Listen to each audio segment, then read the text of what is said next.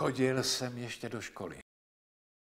Možná poslední rok, když jsem se vydal se svým kamarádem najít pramen našeho potoka. Běželi jsme půl dne proti proudu. Vynechali lec kterou zákrutu. Brzy byl z potoka potůček, potom příkop, strouha a nakonec mokrý flek, vlhký mech a vlhké kameny. Stáli jsme tam a byli zklamaní. Myslím si, že jsme naším potokem i tak trochu opovrhovali, protože na jeho začátku nebylo nic než trochu mokroty. Po letech jsem jel na kole proti proudu z Prévy. Viděl jsem, jak spěchá i jak přešlapuje na místě. Šuměla přes kameny a pěnila, tekla klidně mezi loukami, v obcích měla pevné řečiště, ve kterém si občas, jak se zdálo, zdřímla, a pak zase, jako kdyby zaspala do práce, běžela dál do továren a napojit dobytek na pastvinách. Od vesnice k vesnici byla menší a menší. A když jsem nakonec četl do kamene vytesaný nápis Pramen z prévy, objevila se sotva kapka, jako kdyby spréva byla vyschlá. A zase jsem tam stál, jako bych hledal Marku a našel fenik. Ale i kdyby tam vytékal čůrek vody, nedovedl bych si představit, že z něho jednou bude řeka, kterou jsem viděl divoce běsnit v Budyšíně u staré vodárny. A už vůbec ne, že je otcem četných vod šprévalských blat. Kdybych tam teď jako starý muž stál znovu, přemýšlel bych jinak. Vlhký kousek mechu tady, maličký potůček tam, nevzhledný, přehlédnutelný. A na konci přeci jen široký tok, který nese velké lodě. Řekl bych, mnoho malých pramenů plní řeku, nebo také řeka říká, já jsem řeka. O kapce, kterou kdysi byla, nemluví. Když je někdo dostatečně starý a přemýšlí trošku víc než Jakub Pinca, stoje na mostě, může v potoce spatřovat prameny i ústí a mezi tím klidný a šumící tok, tvrdé kamenné i měkké lučinaté břehy a tisíce zákrut a záhybů.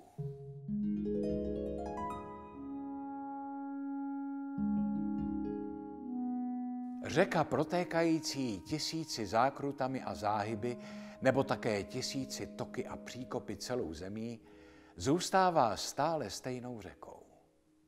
Lidé říkávali ráj komárů nebo také země okurek, ale našli se i tací, kteří mluvili o blatech ošklivě. Je to ráj.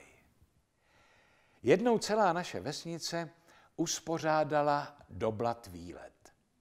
Oba pradědové, Jakub Pinca a já, jsme jeli také. Počasí bylo nádherné. Takové dny jsou jen mezi posledním senem a prvním zrnem. V Chotěbuzi jsme snídali. Spréva tam vypadá, jako by právě přitekla z černého chlumce a neměla čas se po cestě umít. Přesto rybáři koupali své háčky ve vodě. Povídám, ať jsem Abraham, jestli tady žijí ryby. A Jakub Pinca dodal, kdyby tu přece byli, nepotřebovali bychom tuk do pánvičky, protože tyhle ryby jsou dostatečně naolejovaný zevnitř i na vrchu. Cestou jsme viděli elektrárnu, baže jen zvenčí. Vysvětlili nám, že taková elektrárna vyzunkne půlku sprévy pro své betonové chladící věže, nad nimiž stále stoupá bílá pára a dole odtéká voda tak teplá, že by si ryby, kdyby tam nějaké byly, mysleli, že jsou v Africe. Ale teplá voda neodteče bez užitku. Vytápí se s ní všechno možné, hlavně obrovské skleníky. Lidé nejsou hloupí, řekl Jakub Pinca a já mu přikývl. Ne, všichni ne. Myslel si totiž, že v těch skleněných zahradnictvích je možné jíst ze stromu i pomeranče a banány. V Lubňově jsme nastoupili do člunu. Ženy vřískaly jako divoké husy na jaře. S Jakubem jsme se posadili úplně dopředu, abychom nemuseli nikomu zírat na klobouk a viděli všechno jako první. I mladá děvčata na dřevěných mostech. Byla jich spousta. Mostů i děvčat.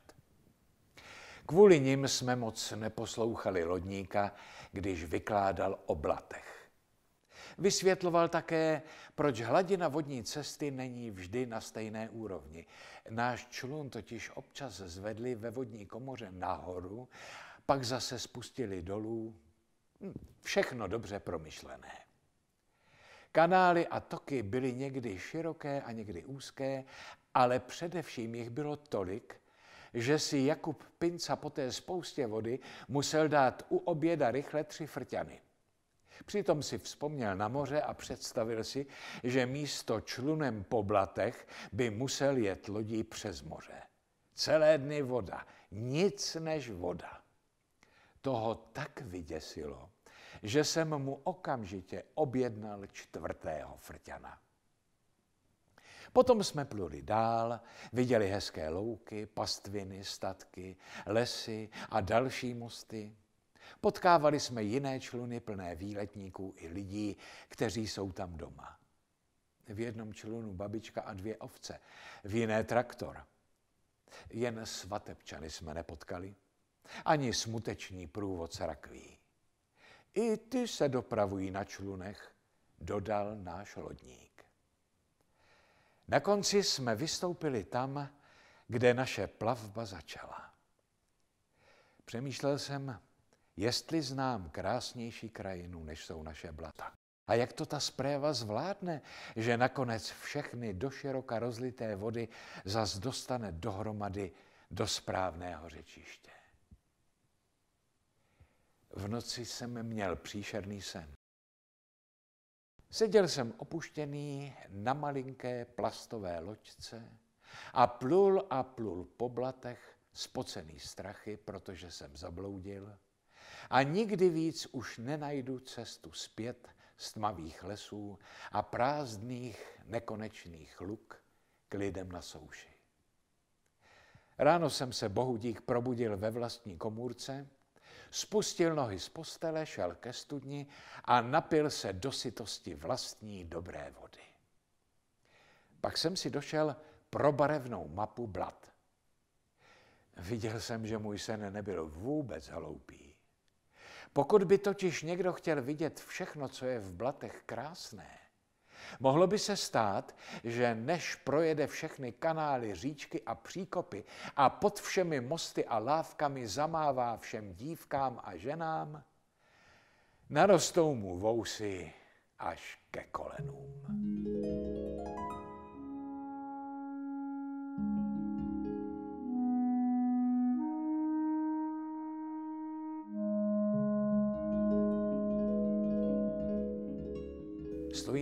Lávce, můj pravnuk a já, a díváme se dolů na potok.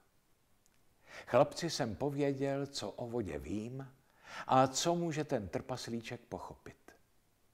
Přemýšlel jsem dál a dál, myšlenky pluly v řečišti mých let a na březích stála moje vesnice a zřejmě také svět, v něm země, kde lidé a dobytek a všechno, co roste, žízní a umírá žízní. Je mi těch lidí, zvířat a rostlin líto. Bez vody vše strádá a hyne. Říkám si, jak je dobré, že máme naše potoky, řeky, rybníky a jezera. Že déšť napájí naše pole, louky a lesy a nenechá vyschnout naše prameny.